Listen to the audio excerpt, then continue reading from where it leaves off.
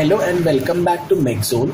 In the previous lecture we were discussing about the first law of thermodynamics और उसमें हमने ये देखा कि हमारा जो हीट है it is actually a path function ठीक है वो हमारा पाथ फ़ंक्शन होता है it depends upon the past history and it is inexact differential. Now, from this lecture, we will start our discussion from the topic of internal energy we will discuss about the internal energy तो जो internal energy होता है it is actually a property of the system it is the property of the system ये हमारे system की property होती है। मतलब अगर ये हमारी सिस्टम की प्रॉपर्टी है then it is exact differential ठीक है?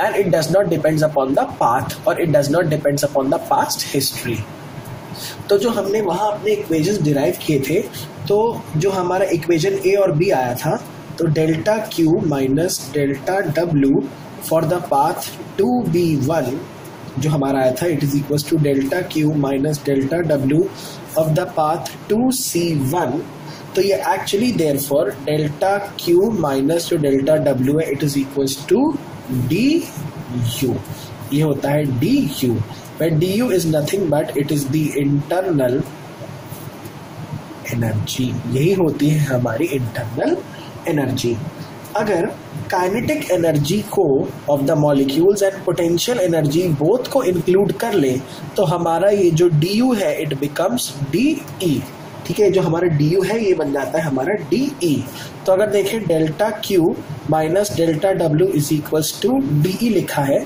तो इसको हम लोग delta Q is equals to D E plus del W भी लिख सकते हैं।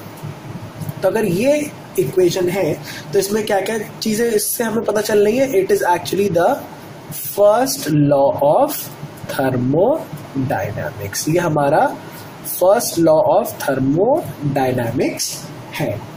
ठीक है, और किसके लिए है? फॉर ए क्लोज्ड सिस्टम के लिए। It is the first law of thermodynamics for a closed system दूसरा क्या है? It is applicable for a cycle as a process ये हमारे साइकिल और प्रोसेस दोनों के लिए ही एप्लीकेबल है। Whether the cycle is reversible और इरिवर्सिबल ठीक है? Whether the cycle is reversible और इरिवर्सिबल तो अगर इस इक्वेशन में हम लोग साइक्लिक इंटीग्रल लगाएँ तो cyclic integral of delta Q is equal to cyclic integral of D plus cyclic integral of del W तो हमें ये पता चलेगा तो हमें ये पता चलेगा कि ये वाला जो हमारा एक्सप्रेशन है कि cyclic integral of this internal energy it is actually zero क्यों ज़ीरो होता है? Since it is a property. Since it is a property, therefore the cyclic integral of this is zero. ठीक है? तो ये हमारा साइक्लिक इंटीग्रल क्या हो जाता है? ज़ीरो तो अगर क्लोज सिस्टम की बात करें तो ये जो हो जाएगा हमारा हो जाएगा फ़र्स्ट लॉ ऑफ़ थर्मोडाइनमिक्स और अगर हमारा हम अज्यूम कर ले that change in the kinetic energy and change in the potential energy is zero मतलब देर आर नो चेंजेस और variation in the kinetic in the potential energies तो हम डी ई की जगह क्या लिख लेंगे? लिख लेंगे हम डी यू तो जनरली हम ये मान के ही चलते हैं कि there are no changes in the potential and the kinetic energies hence the first law of thermodynamics becomes del U is equals to D U plus del W this is actually the first law of thermodynamics ठीक है? और ये जो delta W है it can be delta W of the boundary ये boundary work भी हो सकता है। और it can be delta W zero delta W zero मतलब ये हमारा शाफ्ट वर्क भी हो सकता है, ये हमारा इलेक्ट्रिकल वर्क भी हो सकता है it can be the electrical work also और ये क्या है हमारा? Boundary work this can also be a boundary work और ये क्या हो सकता है? शाफ्ट वर्क भी हो सकता है, हमारा इलेक्ट्रिकल वर्क भी हो सकता है। तो हम लोग del Q is equal to D U plus P D V भी लिख सकते हैं, क्योंकि हमारा डेल डब्ल्यू जो है it is actually equals to P D V और ये कब लिखेंगे जब हमारा क्या हो जाएगा, एक क्लोज सिस्टम हो जाएगा, और del W is equals to P D V में हमारी कंडीशन आती थी क्वासी स्टैटिक प्रोसेस के लिए। वो स्टैटिक प्रोसेस हो जाए। एंड क्योंकि यहाँ डी यू लिखा हुआ है तो इसका मतलब है change in the kinetic energy and change in the potential energy क्या होने चाहिए? ज़ीरो होने चाहिए।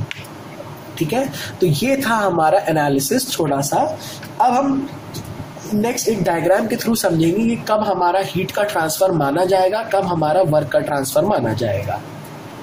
ठीक है? तो मान लीजिए हम अपना कोई एक ऐसा सेटअप माने कि मान लीजिए हमारा कोई सिस्टम है, ये कोई रूम है सच दैट इस रूम में लगा हुआ है एक रूम हीटर ठीक है? और इस रूम को मैंने इंसुलेट कर रखा है। इस रूम को मैंने क्या कर रखा है? इंसुलेट कर रखा है। ठीक है? और एक बार मैंने क्या माना? अपने हीटर प्लस रूम को सिस्टम मान लिया, मान लीजिए ए पार्ट और दूसरी बात, अंदर जो मेरी एयर है, सिर्फ़ उसको मैंने सिस्टम मान लिया, मान लीजिए बी पार्ट ठीक है? तो अगर हम देखें ए वाले सिस्टम में तो ए वाले सिस्टम में यहाँ से यहाँ हीट का ट्रांसफ़र तो हो ही रहा है। मतलब there is a transfer of energy ठीक है? There is a transfer of energy और इस हीटर में इलेक्ट्रिसिटी भी ट्रांसफ़र हो रही है। तो इलेक्ट्रिसिटी ट्रांसफ़र हो रही है तो मतलब हम कह सकते हैं इलेक्ट्रिकल वर्क ट्रांसफ़र हो रहा है। तो work is also getting transferred in the form of electrical energy ठीक है? लेकिन अगर हीट की बात करें हीट क्या है हमारा? ये वाले सिस्टम में सिर्फ़ इतने सिस्टम में हीट ट्रांसफ़र नहीं हो रहा है। हीट ट्रांसफ़र सिर्फ़ और सिर्फ़ बी सिस्टम पे हो रहा है। तो heat transfer is not taking place when we are considering A as the system ठीक है। अगर इस वाले को कंसिडर करें बी वाले को, अब बी वाले में हीट का ट्रांसफ़र हो रहा है, क्योंकि बी वाले में हीट का ट्रांसफ़र हो रहा है। वर्क का ट्रांसफ़र नहीं हो रहा। वर्क का ट्रांसफ़र नहीं हो रहा। एनर्जी का ट्रांसफ़र हो रहा है। हीट और एनर्जी मतलब हीट का ट्रांसफ़र हो रहा है because the air inside the room is getting heated work का ट्रांसफ़र नहीं हो रहा क्योंकि वर्क किस फॉर्म में हो सकता है? या तो शाफ्ट वर्क हो, या तो इलेक्ट्रिकल वर्क हो, या तो बाउंड्री वर्क हो। ठीक है बाउंड्री एक्सपैंड हो नहीं रही तो वर्क डन पहले केस में हमारा हो रहा है, क्योंकि यहाँ पर हमारा इलेक्ट्रिकल वर्क डन हो रहा है, क्योंकि यहाँ पर हमारा इलेक्ट्रिकल वर्क डन है, लेकिन यहाँ पर ना बाउंड्री का एक्सपेंशन है और ना ही हमारा इलेक्ट्रिकल वर्क डन है। तो यहाँ पर जो हमारा वर्क डन हो जाएगा, वो हो जाएगा ज़ीरो एनर्जी का ट्रांसफ़र है और हीट का भी ट्रांसफ़र होगा। ठीक है? अब दूसरी सिचुएशन जैसे मानिए ये मेरा एक ऐसा बॉक्स है। उस बॉक्स में मैंने एक ऐसी शाफ्ट लगा रखी है फ़ैन लगा रखा है मान लीजिए। और मैंने इसको एक ऐसी वॉल से दो पार्टीशन में डिवाइड कर दिया।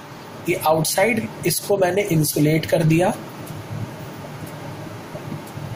दिस इज़ एक्चुअली इंसुलेटेड ठीक है? और एक बार किसको सिस्टम मान लिया? एक बार इतने पूरे को मैंने सिस्टम मान लिया। मान लीजिए this is taken as A और एक बार इस वाले कंपार्टमेंट में जो भी चीज़ है, उसको मैंने सिस्टम मान लिया, मान लीजिए बी ठीक है? And this shaft is actually rotating अगर ए की बात करें तो ए में आपका एनर्जी का ट्रांसफ़र हो रहा है। एनर्जी का तो डेफिनेटली ट्रांसफ़र होगा ही। वर्क का भी ट्रांसफ़र होगा in the form of shaft work यहाँ पर क्या हो जाएगा हमारा?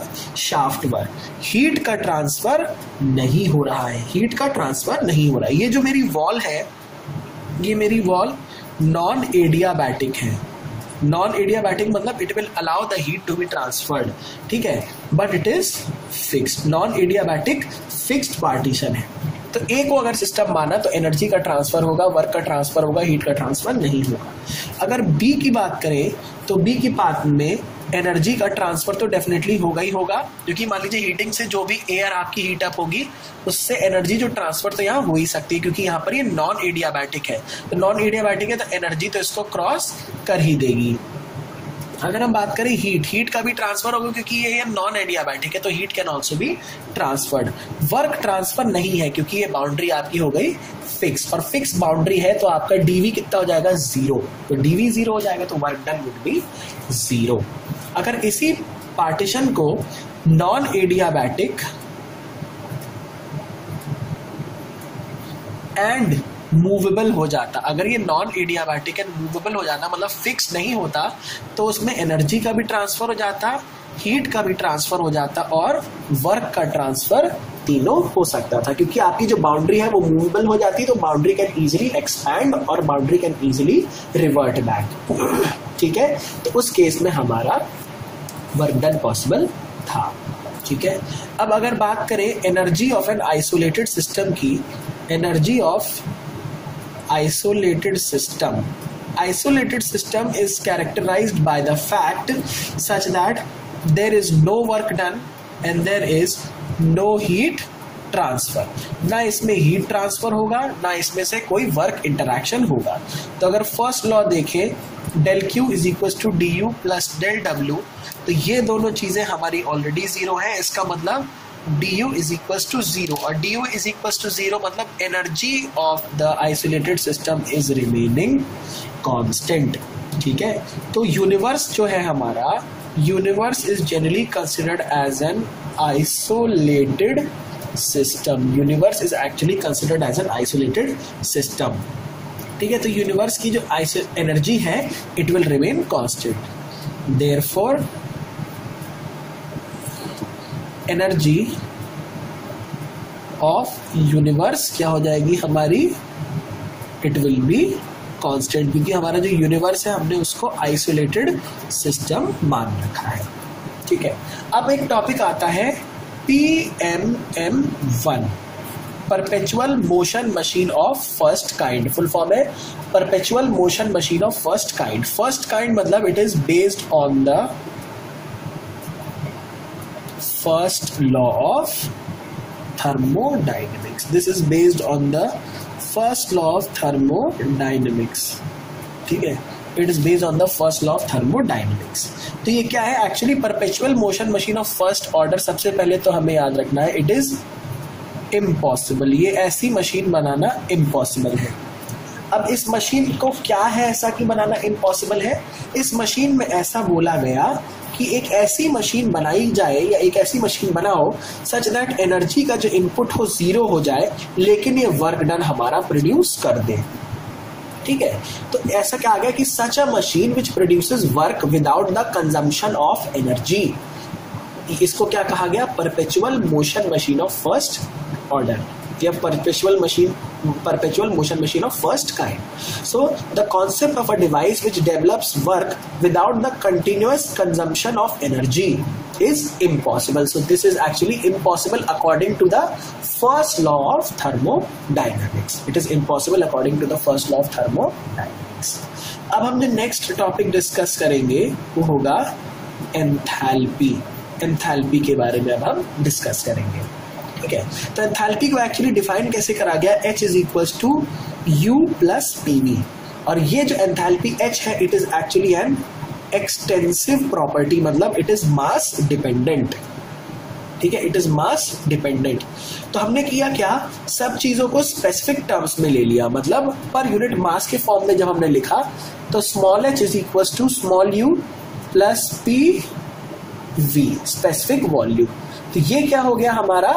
Specific enthalpy specific internal energy pressure और स्पेसिफिक वॉल्यूम अब जो ये एंथैल्पी बनी this was called as the specific enthalpy और मैंने आपको ये चीज़ बता चुका हूँ कि जो भी प्रॉपर्टीज़ स्पेसिफिक प्रॉपर्टीज़ होती है they are always independent properties और इंटेंसिव प्रॉपर्टीज़ ये आपकी बन जाएगी इंटेंसिव प्रॉपर्टीज़ तो ये जो हमारा टर्म था, H is equals to U plus PV, this term actually very frequently occurred in the analysis of the control volumes. ये जो हमारा टर्म था हमारी कंट्रोल वॉल्यूम का जब हमने एनालिसिस किया तो ये टर्म फ्रीक्वेंटली अपियर हो रहा था ठीक है और ये कंट्रोल वॉल्यूम की एनालिसिस किसने करी थी it was done by Mollier it was done by Euler and for convenience this term u plus pv was defined as enthalpy इसको हमने कैसे डिफाइन किया?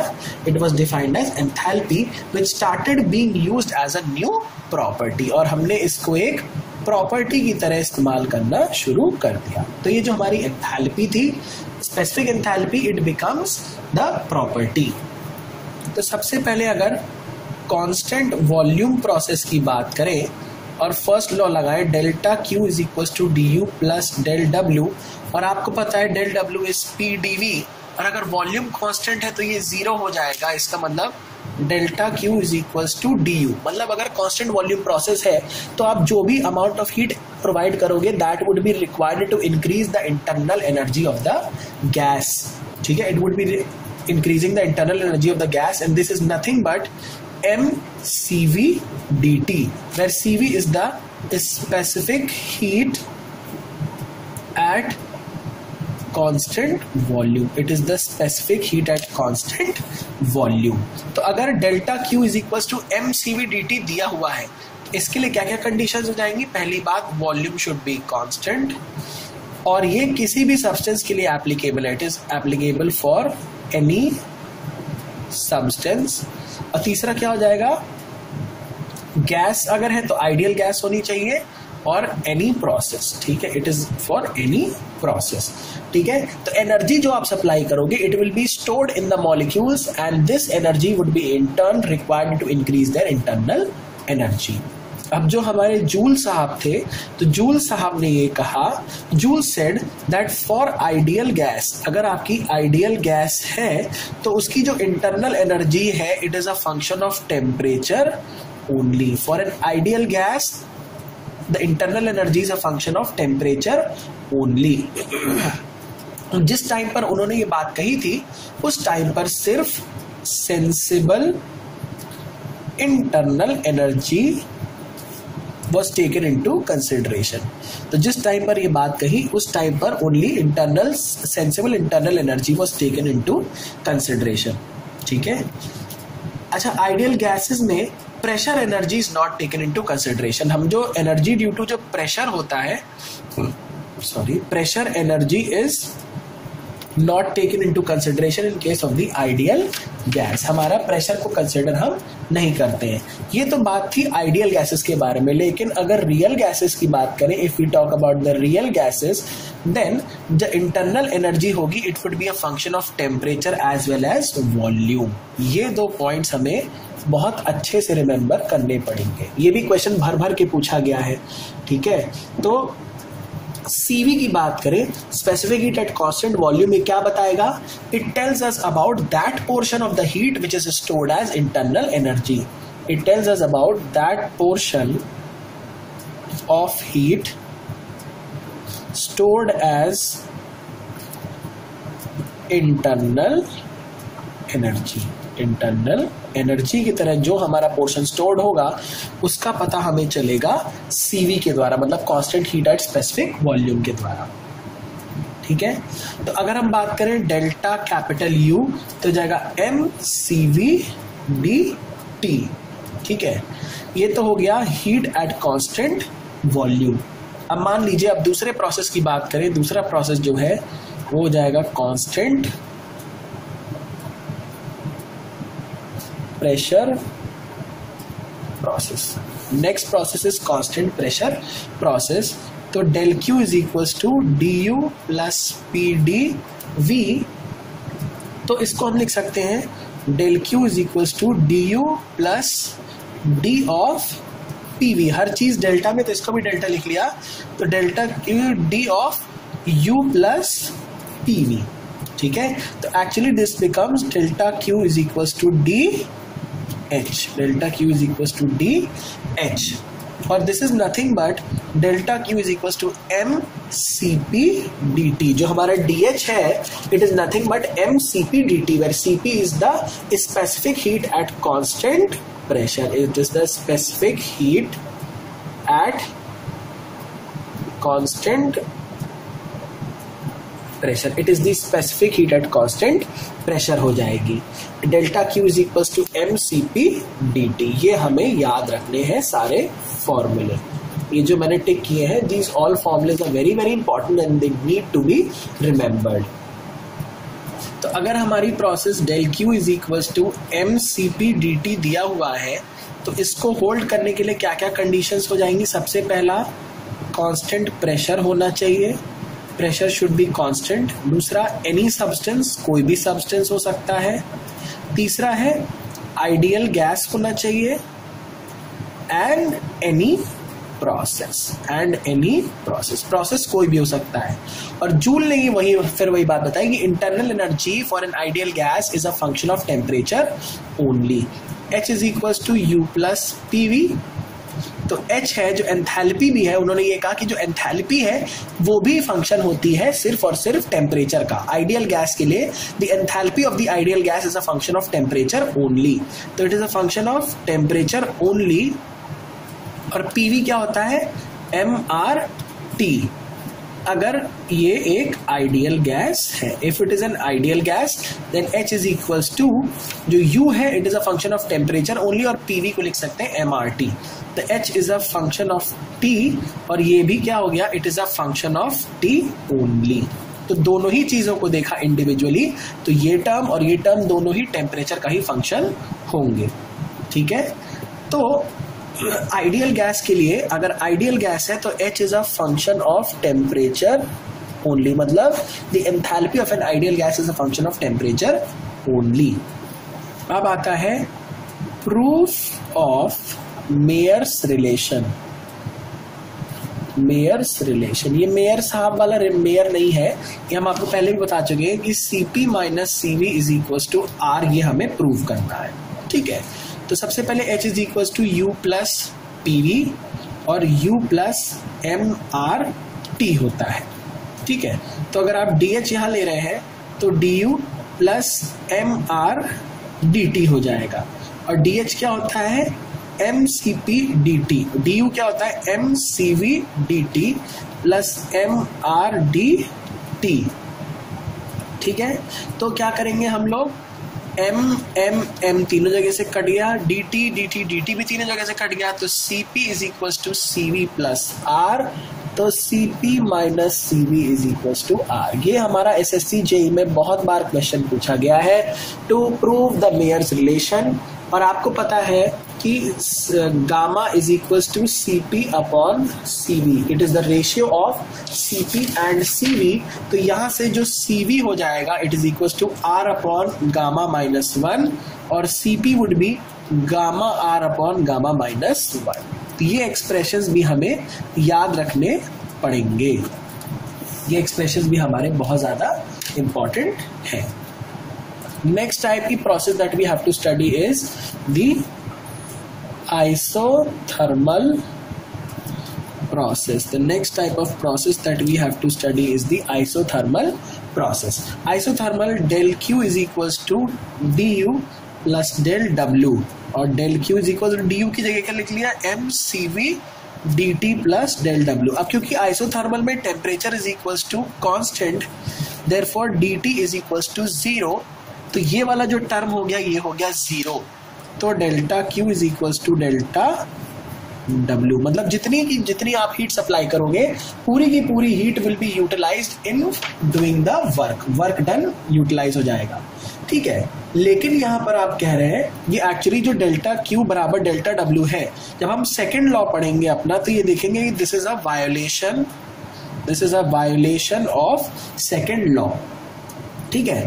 पर यहाँ पर ये सेकेंड लॉ का वायोलेशन नहीं है क्योंकि जो सेकेंड लॉ है हमारा it is mainly for a cycle ठीक है? और ये जो हमारा दिया गया है, ये हमारा दिया गया है प्रोसेस के बेसिस पर। जो हमारा फ़र्स्ट लॉ ऑफ़ थर्मोडाइनमिक्स है it is given for a process whereas the second law it is given for a cycle तो ये पूछा जा सकता है कि delta Q is equal to delta W ये तो सेकेंड लॉ के अकॉर्डिंग वायलेट हो रहा है तो यहाँ आपने कैसे प्रूव कर दिया?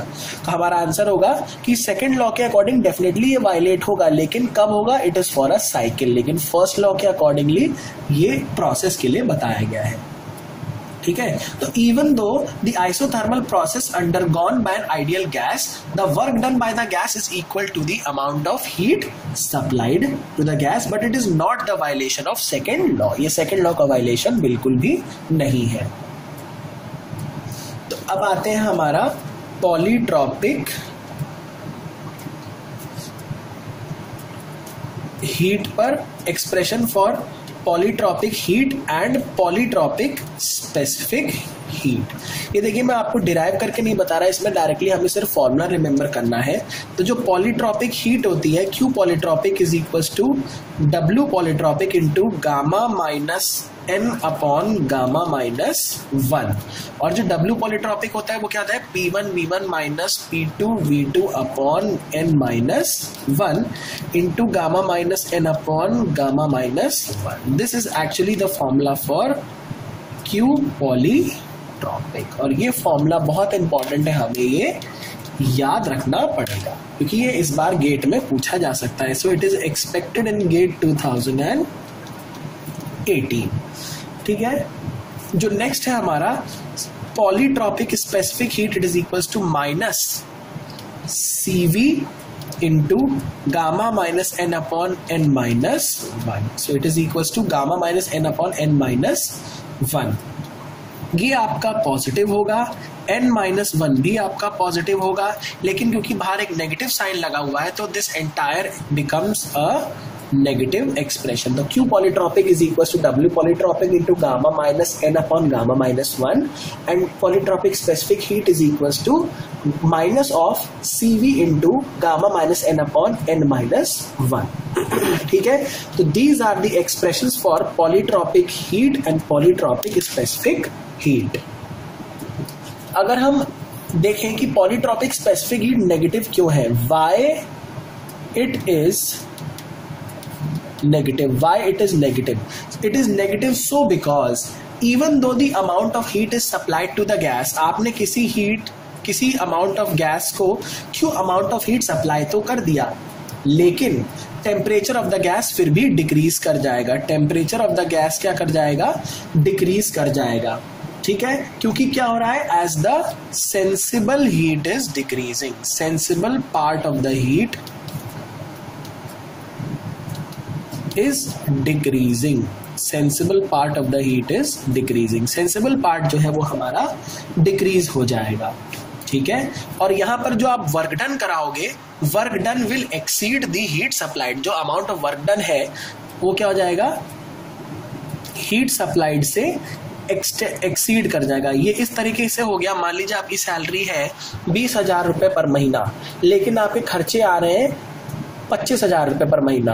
ठीक है मतलब जितनी आपका इनपुट है, उससे ज़्यादा आपका खर्चे आ रहे मतलब जितना आपको सैलरी मिल रही है, उससे ज़्यादा अगर आपके खर्चे हैं तो आप किसमें चले जाएँगे? माइनस में चले जाएँगे। इसीलिए पॉलीट्रॉपिक स्पेसिफिक हीट क्या होती है? माइनस क्योंकि जितना आपने हीट सप्लाई कराई, उससे ज़्यादा आपने वर्क डन निकाल लिया है। Therefore it is negative okay so next topic that we have to start is free expansion. We have to start about the topic of free expansion. इसको कहते हैं expansion through a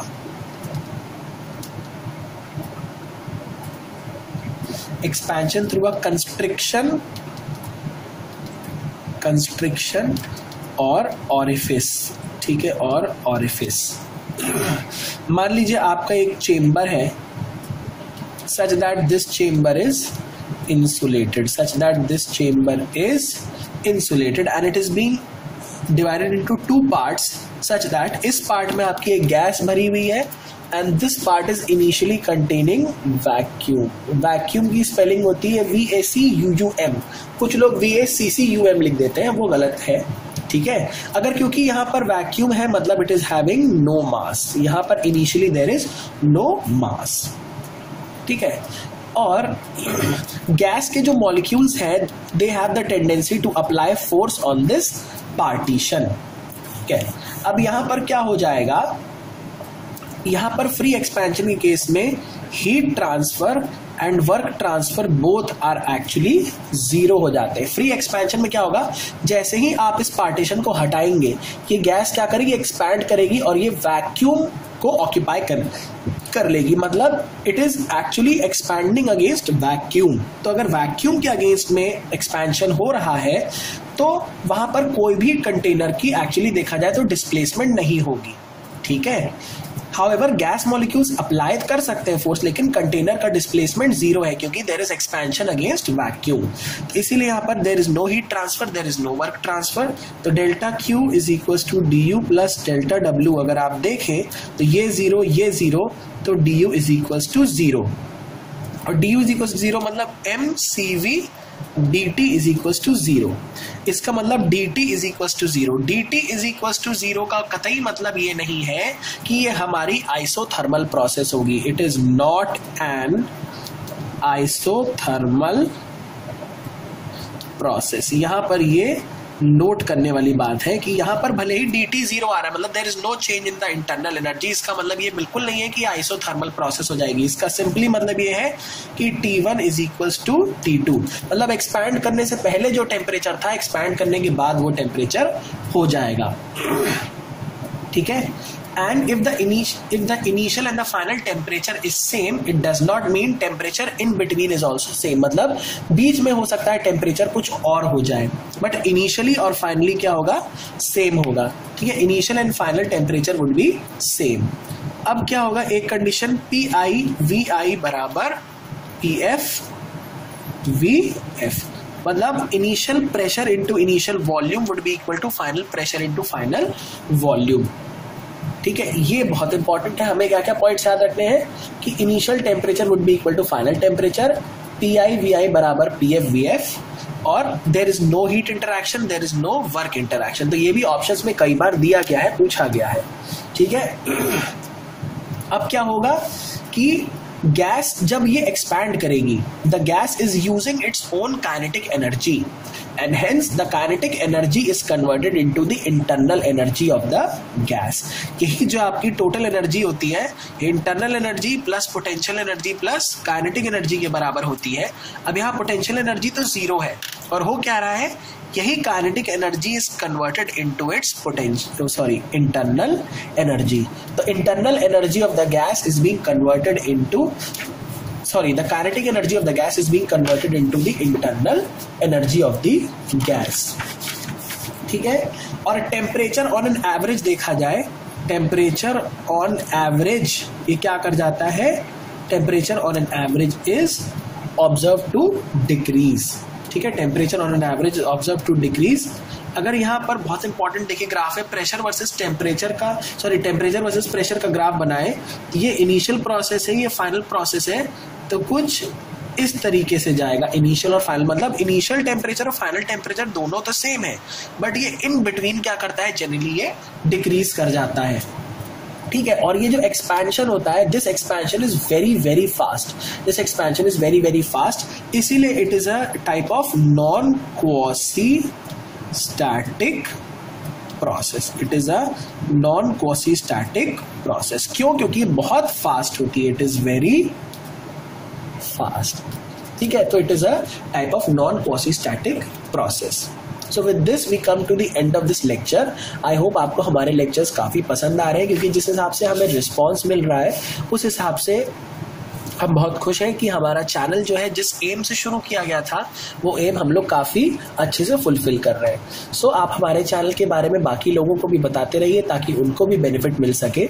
और हमारे lectures आप देखिए अपने नोट्स प्रिपेयर करिए अपनी डाउट्स और प्रॉब्लम्स हमसे फेसबुक पेज पर या हमारे चैनल पे आप शेयर कर सकते हैं। So thank you for today